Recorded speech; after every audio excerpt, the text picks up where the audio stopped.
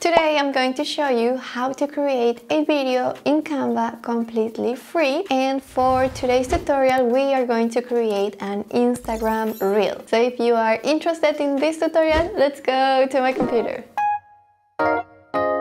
First thing that you would like to do is to go to the search box here on Canva's homepage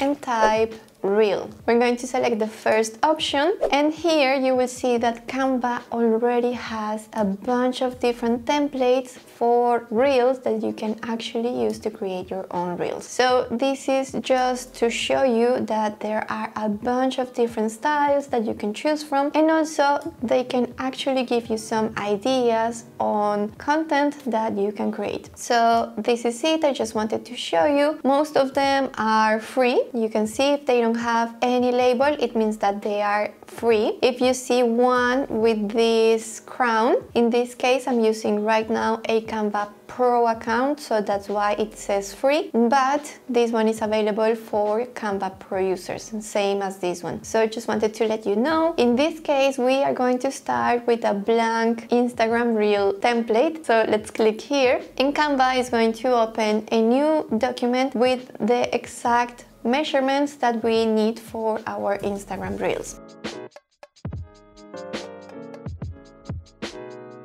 And actually before filming this tutorial I already had my footage filmed. I used my phone to film myself and to film my screen because I want to create a little tutorial for an Instagram reel. I suggest that you have a little structure that you know what you need to film before filming so this is easier for you. I also filmed my video in little chunks so I filmed the intro in one video and then I stopped. Then I filmed the outro just to tell people, you know, like a call to action, follow for more tips or something like that. I filmed that other video at the end and then I also filmed my little tutorial in three different batches so it is easier after to assemble all the video together and to cut little sections that maybe I don't need. So this is just to make our process easier in Canva. So now we're going to start creating our video. So in the background, I want to use a gradient. So we are going to the photos section and type gradient. You will find a bunch of different premium images, but if you go below, you will find some of them that are free, for example, this one, and you just drag it to the background. Now we are going to use a phone frame, so we're going to elements and search for phone frame.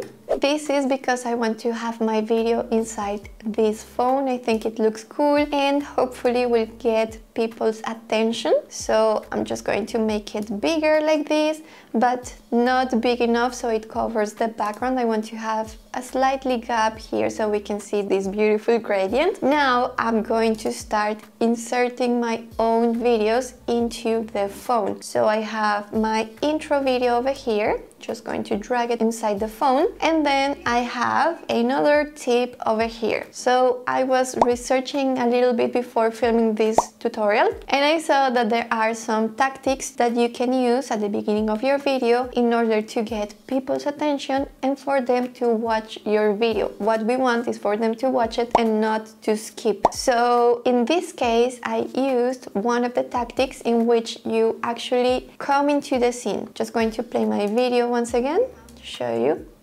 So there was an empty chair and then I come inside the frame. This is one of the tactics. Some other people take their phones and do like a little movement and then they start filming like this. So you see a little movement and this is something that seems to work. Another tip is to add some text kind of like explaining what is the video about or maybe a question. So I think this is easier, people can read really fast and they will stay if they are interested in your content. Another tip, second tip that I want to give you for the beginning of your video is to maybe ask a question or mention a problem and then the solution. So basically you tell them, hey, do you have this problem? I have the solution in this video. This is going to really get people's attention. In this case, I used a question. So, did you know that you can create videos in Canva like this one? And so basically, I asked them, did you know that you can, tac, tac, tac,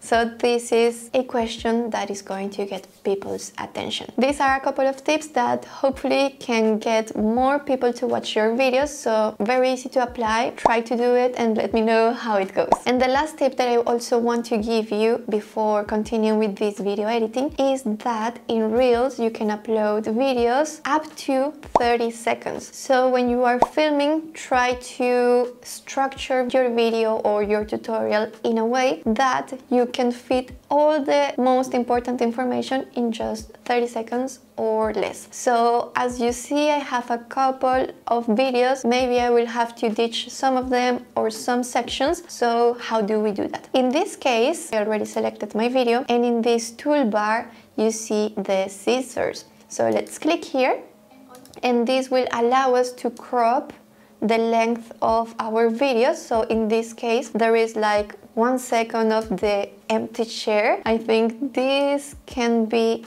dropped out. I can crop this section and just show myself like coming into the scene. Also, another thing that I want to add here is that when I filmed this little clip, I asked a question and in the second part of the question, I talk about animations. So that's what I told you to be very structured before filming so you know how are you going to edit and maybe what can you add while you are editing. So basically in this question I tried to stop while filming so I said the question I did a small pause and then I continue with the end of the question and this is for me to be able to cut the first scene and in the second part of the video I will be able to add some animations when I'm mentioning the animations. So basically what I need to do here is just to play and try to find the gap where I stop talking, cut, and then in the second scene I will add the second part of the question. So let's play.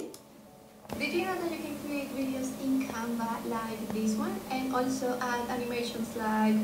So this is my pause. So I said and animations like and then I post. So I'm trying to find this section where I stop talking. Okay, let me see.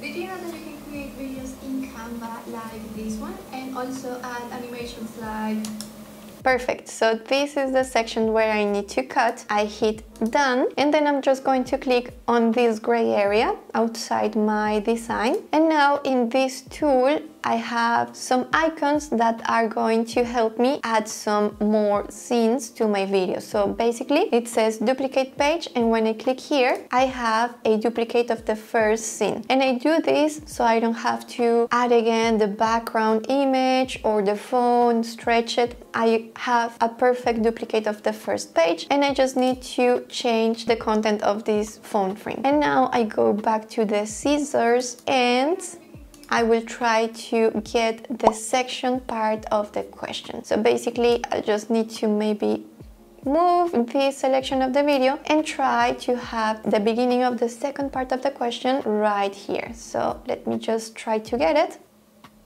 Perfect. This one?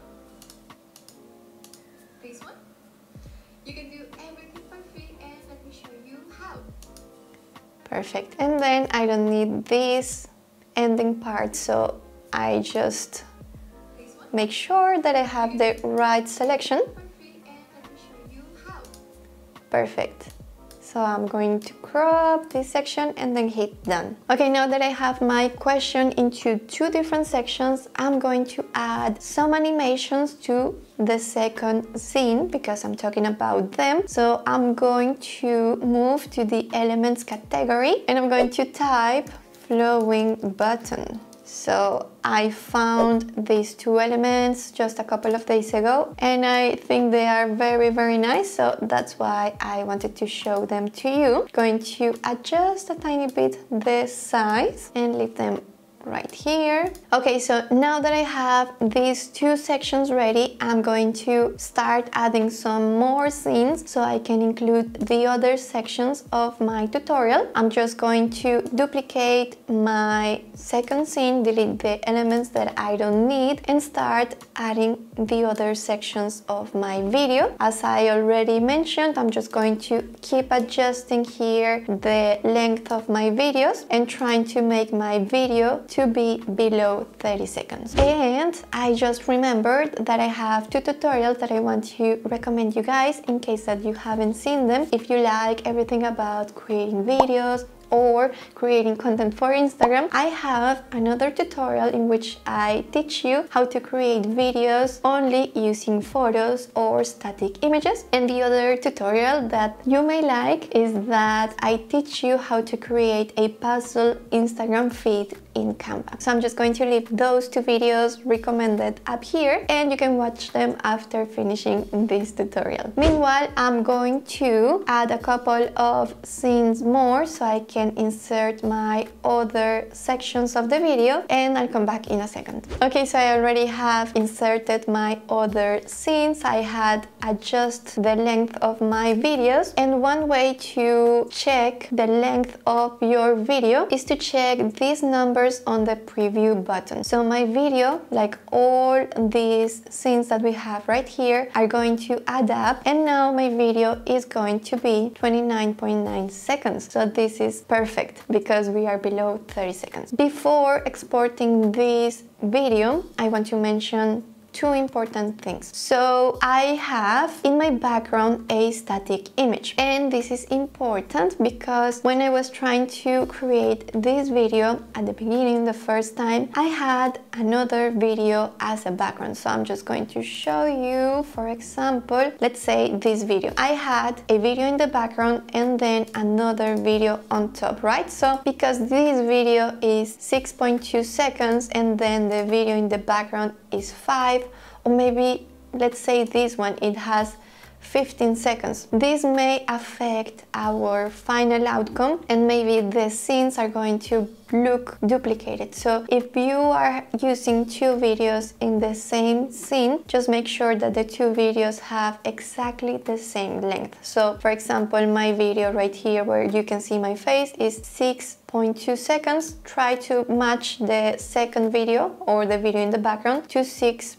0.2 or the same length because if not you will have some issues. But in this case we used an static image in the background so you are not going to have any issues. And then the last thing that I want to mention is that you can also include or insert music directly from Canva. So there is this category in this menu on the left hand side. You can add music. There are a bunch of different premium tracks. You see there is a label right here, but you can also find some free tracks that you can use on your videos. So if you find something that you like, just click on it and the song will be added to your video. In this case, I don't need any song, any music, I'm just going to download the video as it is. And later on when I'm going to upload my video to Reels, I will add the music that I wish. And now, how do we download our video? This is pretty, pretty simple. Just hit download in this navigation bar on top. Make sure that you are selecting all the pages. If you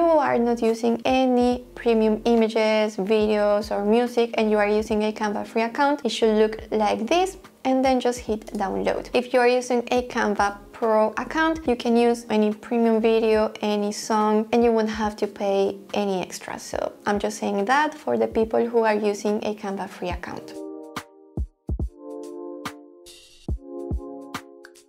I have my video already downloaded into my computer, it's right here. I want you to pay attention to the quality of the video, which I think it's really great, and also that it doesn't have any watermark at all, and I downloaded it for free. So let's play. Did you know that you can create videos in Canva like this one and also add animations like this one? You see the animations? for free and let me show you how. In Canva you have a bunch of different templates that you can choose from, so select the one that you prefer. When you are in the Canva editor, you can upload. Okay, so you have an idea of how the video looks and I really hope that you liked this video and all the tips that I gave you. If you liked it, just leave me a thumbs up. This is going to tell YouTube that this video was valuable. And also if you know somebody who wants to learn how to create videos in Canva, share this video with them. This is really, really going to help us out. And if you want to keep learning about Canva, I'm gonna leave two tutorials right here that you might be interested in. And also I'm gonna leave my Canva profile right here in case that you have a Canva Pro account. You can enjoy all the templates that are there for free. So I guess this is it for today. Have a good day and I guess see you in the next tutorial. Bye!